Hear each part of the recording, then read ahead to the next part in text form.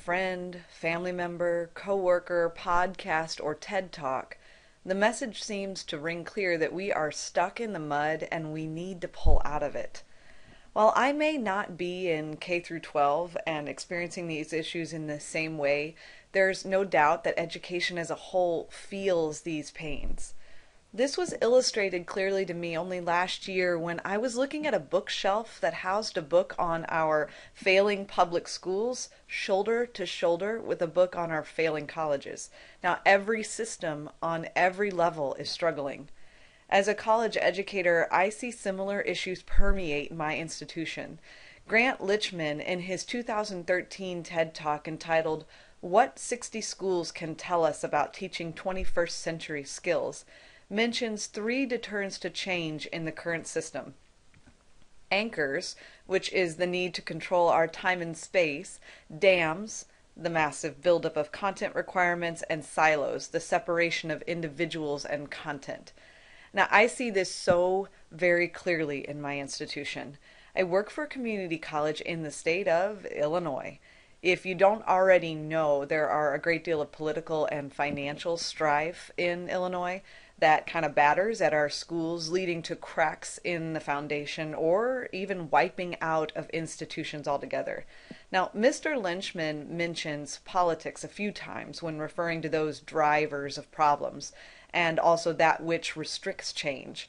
I would have to agree with him here and note that my school is no different. While politics have occasionally aided us, for example, the development of a new building, it has also led to fear which in turn leads to grasping of those aforementioned anchors. Both faculty and administration become adversarial, as most do when feeling threatened. Now, while these anchors are certainly in place, I don't fear that all is lost. Well, I've always been sort of dumbfounded by the amount of time it takes for change to be implemented in the college system, which I lovingly refer to as, quote, academic time they happen nonetheless. Now, to be fair, it's hard to see the true size of the changes from up close, you know, only looking back a few months to even a year. But if you step back, it's truly amazing how far we've actually come. Now, just take online education, for example. It was not that long ago that full time employees or parents would have been unable to attend my school regardless of whether or not they could afford it. They simply could not get to campus. Now we have full degrees that can be achieved from your home. Along those same lines, these degrees may have started out rough and tangled, but they grow more and more rigorous and powerful in their own right as technology and experience advance. Now, it seems we as an educational culture are struggling to make needed changes. As Lichtman mentioned, we see these changes as, quote, hard, and in a way we fear them. However, there are a few brave souls out there that push on nonetheless and strive to make the changes that are needed, regardless of those anchors, dams, or silos. While I do not see any of the arguments as far fetched, in any way, I do think that we are seeing a call to action start to break the surface. Educators across grade levels, positions, and institutions are seeing the concrete wall of the status quo of this industrial age beginning to crack, and innovation is beginning to seep through. Maybe in a few years, the restraints will break altogether and an explosion of change and growth will occur. Now, a strong, successful relationship in any circumstance relies on tools and methods that work in tandem to foster growth. What is professional development but a relationship between teachers and progress?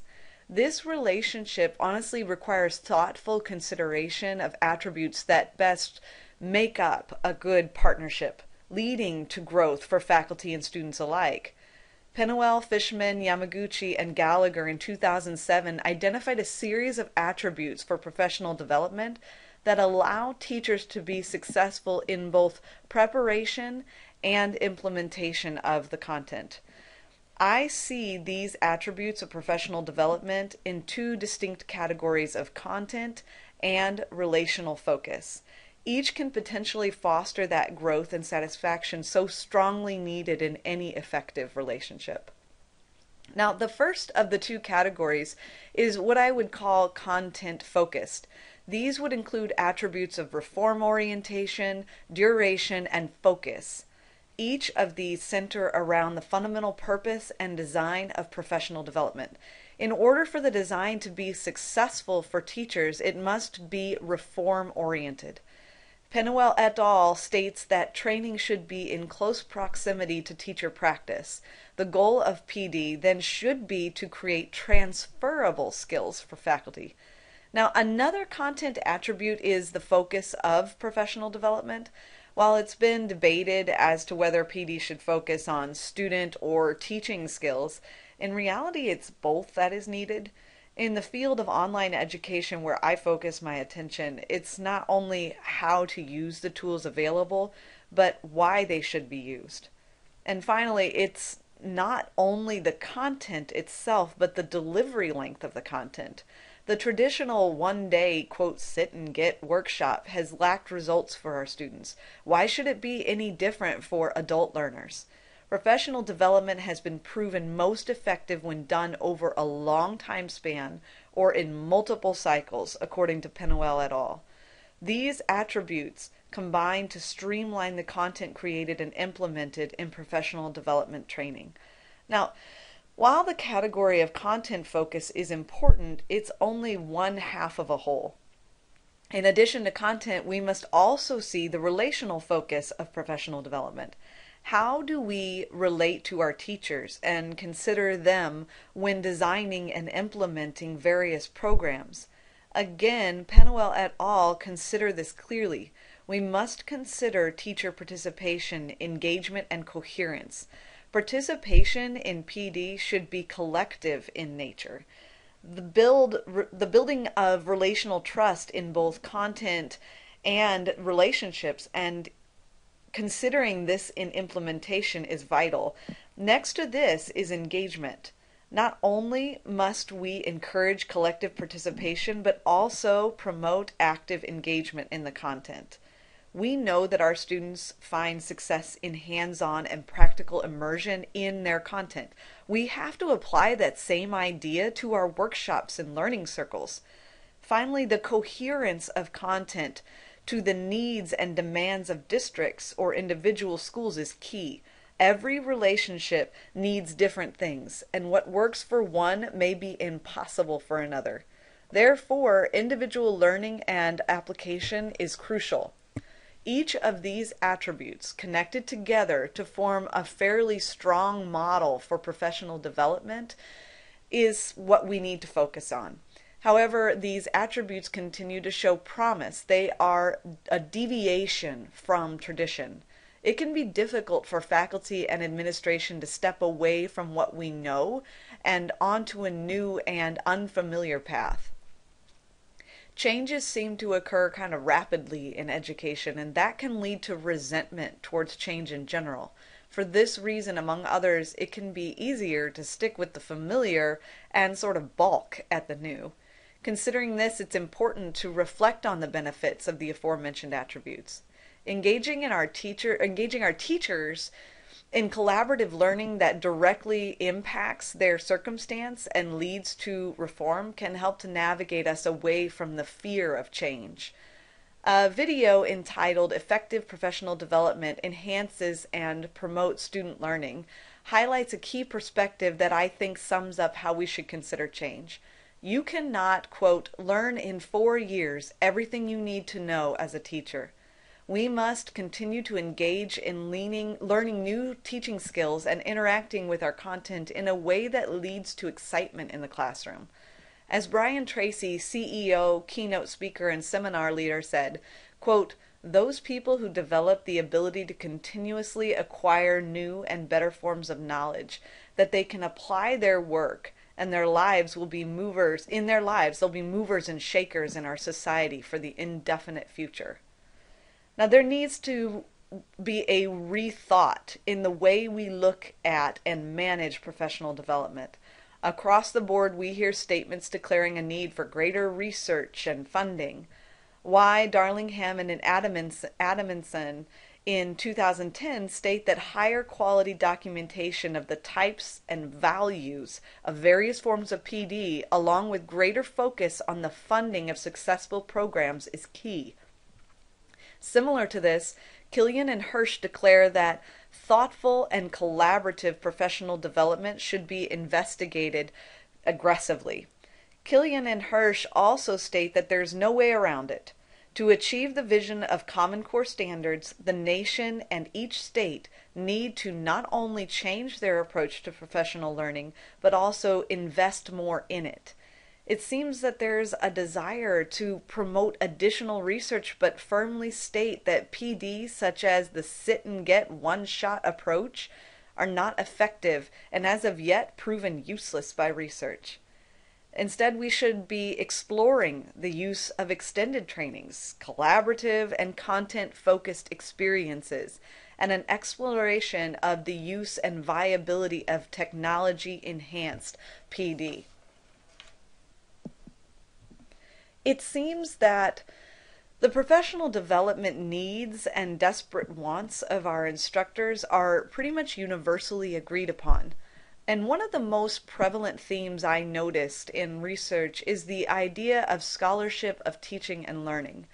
Burke in 2013 states that the comprehension and utilization of theory and research in our classrooms is necessary in order to be effective teachers.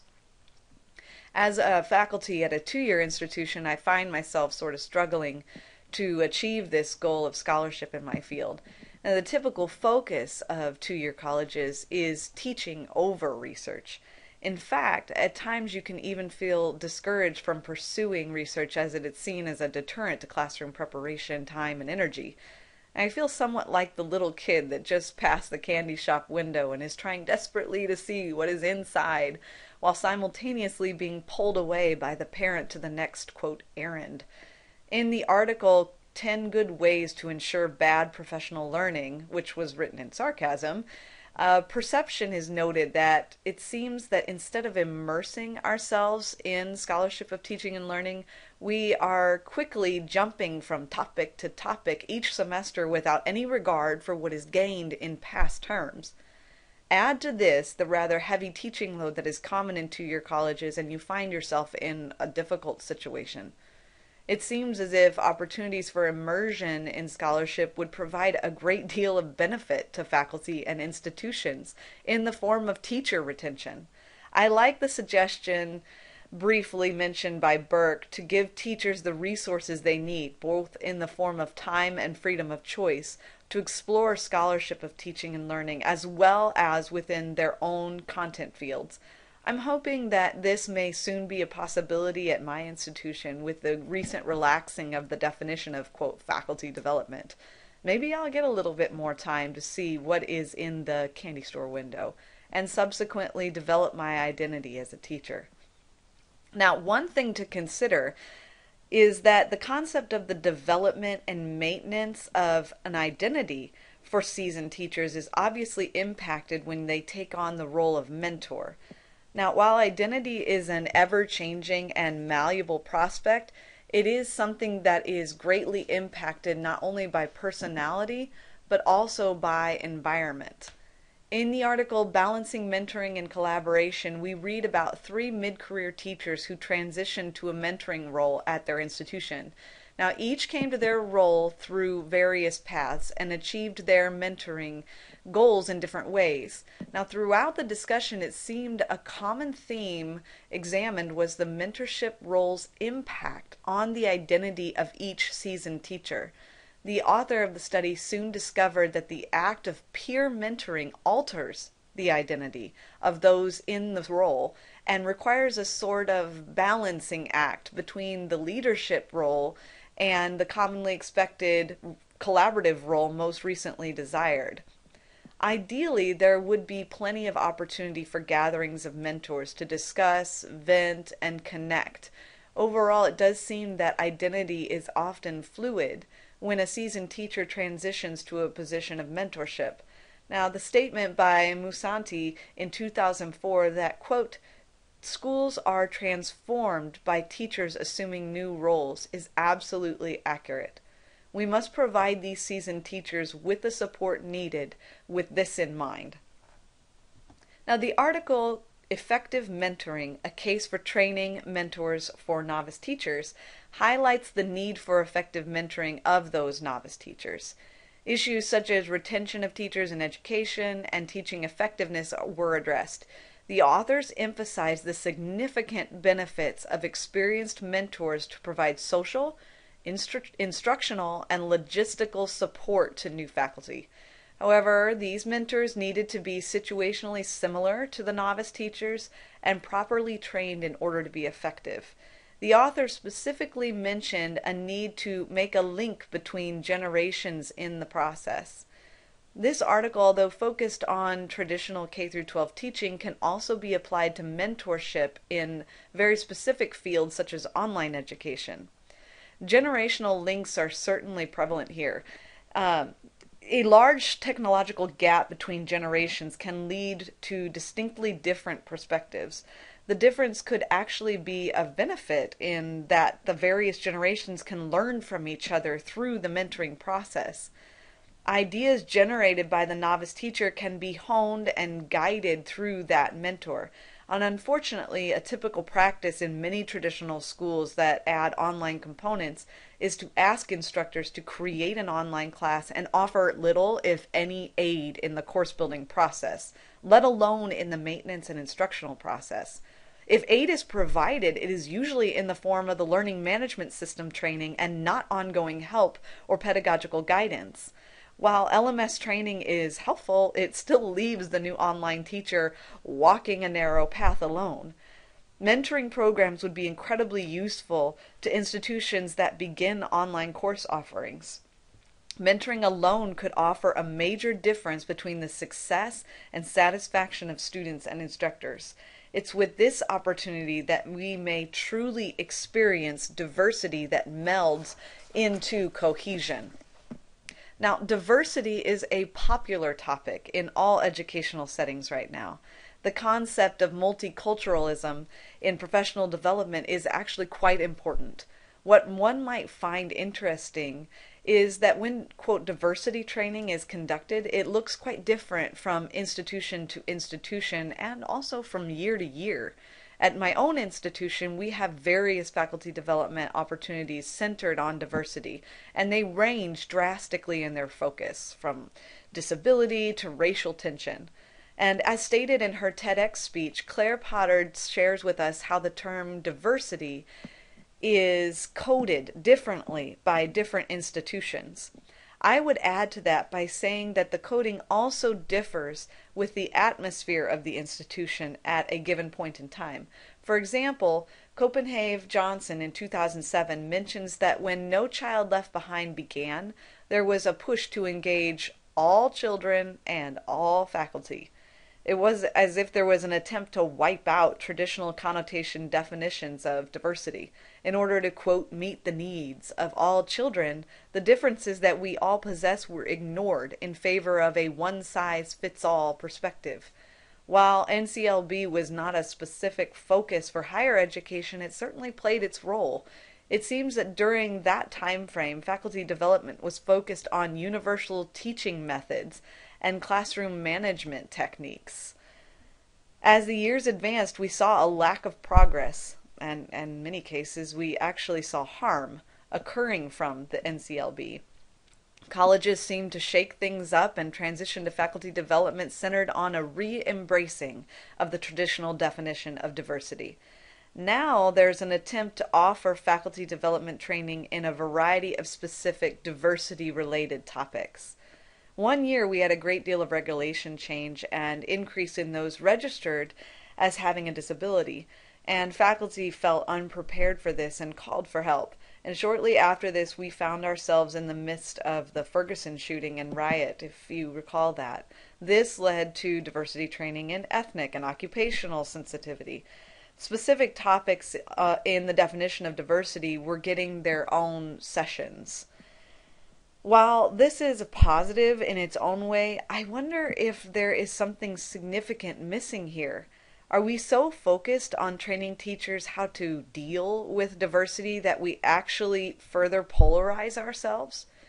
Ramirez, in his article entitled, entitled Ethnic Minorities in Teaching in 2009, shared that programs encouraging diversity in the educational system are abundant, yet we're not successful in encouraging a variety of people to enter the field and offer their perspectives.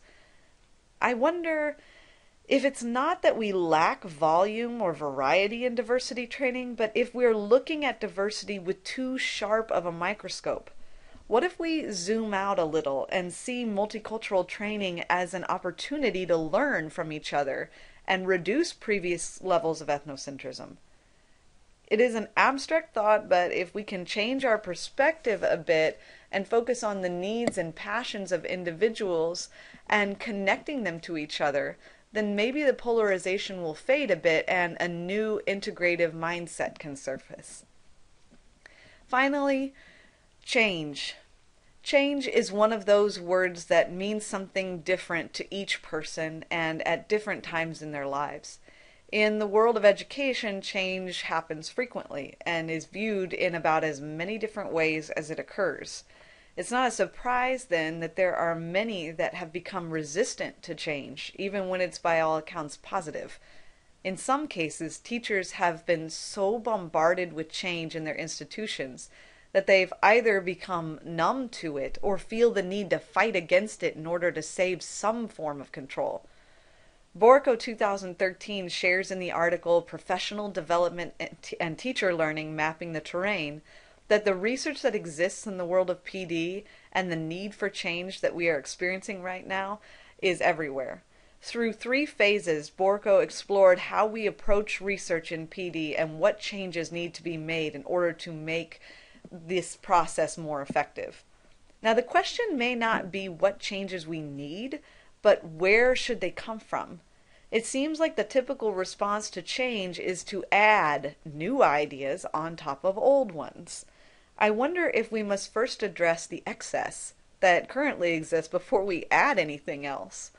In the 1995 book Tinkering Toward Utopia by Tyack and Cuban, we find that more often than not we are piling on the new without trimming the old and ineffective practices. What if we first remove what is not working and instead engage in the resources we already have? Now, one major reason for resistance to change is when we feel as if we're not involved in the decision making process.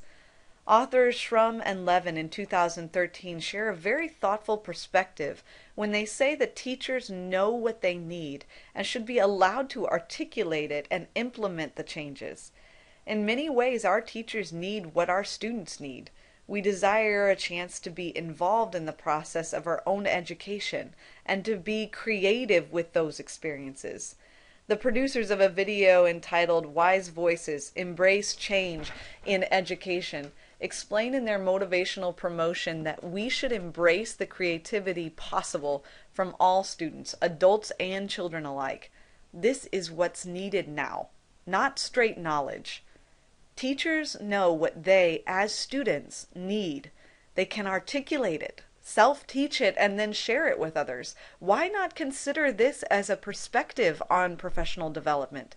Ask teachers to explore what they want to know more about, test it, and then share their experience and aid in the professional development in that topic. It seems that the intrinsic reward of being involved in change and impacting it personally would be more than enough to motivate our teachers to embrace change rather than fight it.